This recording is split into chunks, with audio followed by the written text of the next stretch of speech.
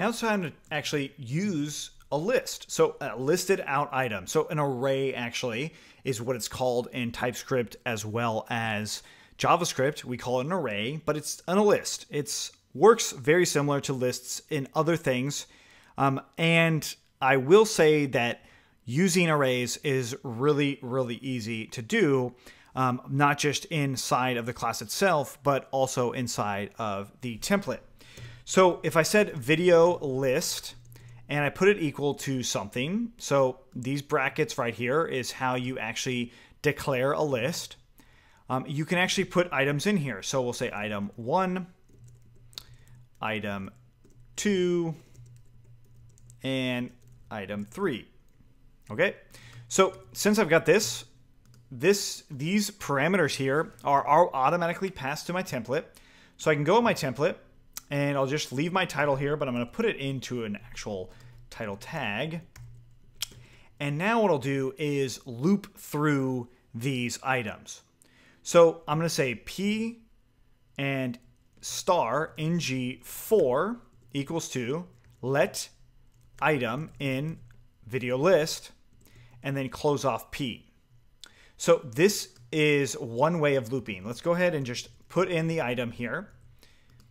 We'll save that and let's go ahead and look at it. And we get this error ngForIn isn't a known property.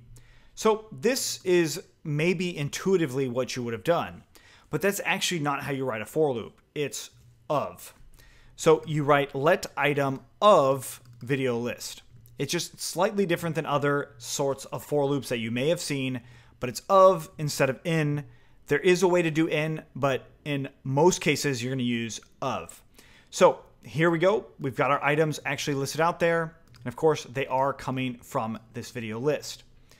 I will pause for a moment and say, you might be wondering why I'm not doing let video list equal to something because um, when you declare them on here, they're just considered a variable. Um, uh, they're considered a parameter of that class, so you don't actually have to change them, or they're not actually a variable of the class. It's just a parameter of that class. So that's something to keep in mind while you're going forward.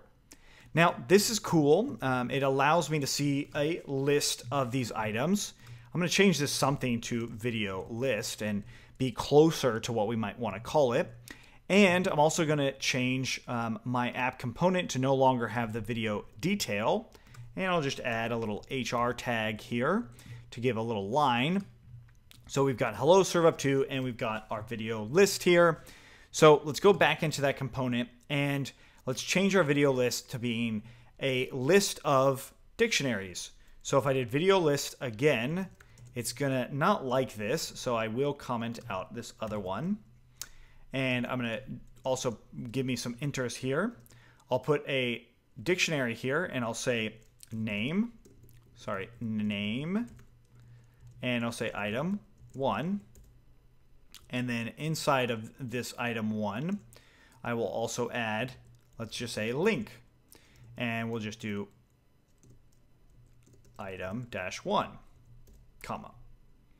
Well, instead of link, I'm going to call it slug because that's what it would actually be is a slug field. Okay, so I'm going to copy this and paste it a couple times for item two and oops, item three. Okay, so now we save that. If I look back in my app, I see that I got objects here. So these are treated as JSON objects. So that is, of course, JSON objects, right? JavaScript object notation. That is what's coming through. So hopefully your mind's bubbling, especially if you've worked with backends before. You know that this could be eventually replaced with JSON from a backend. We will do that, but I just want to show you how to loop through JSON data. It's really easy. We go back into our index, or excuse me, we go back into our video list component HTML. And now we can do item.title, or I think we called it name actually. I save that, and what do you know? It comes back.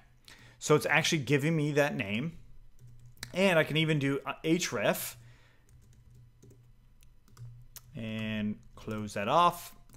Grab these curly brackets and item.slug. If I save this, I look back into Chrome, I see that I have links here. If I click on these links, they don't really take me anywhere, right? We'll worry about routing later, but they do work, right? And if I did um, something different, we will actually also change these links too when we when we go into routing. I won't do it yet, um, but it is showing us that we can iterate through these items fairly easily. But I can also use a conditional. So if I said ng if, and I'll do item.slug equals equals to, let's say, uh, another double quotes in here. So item one, notice that that's the case right? So ngIf, I just did that. Okay, I refresh, and now it only shows item one. So I can copy this and paste below it and say not equal to item one. I'll add a class of new, or, or let's add, just add a style so we can see this really, and I'll just say color red. Okay, so we save that and we go back, and there we go, right? So really simple looping and some conditions. Now, of course, you can do also something called ng show. Ah, no, you can't. See, so a lot of the things from AngularJS don't necessarily go over, but it's important to do ng st star, ng if, and then having all that stuff there. Now, again, I want to show you these errors happen because if you're coming from AngularJS, which is something we've taught before, you're going to be like, oh, maybe it's ng show because that's what it was with AngularJS. That's why I want to show some of these errors to you because you might intuitively do those sorts of things.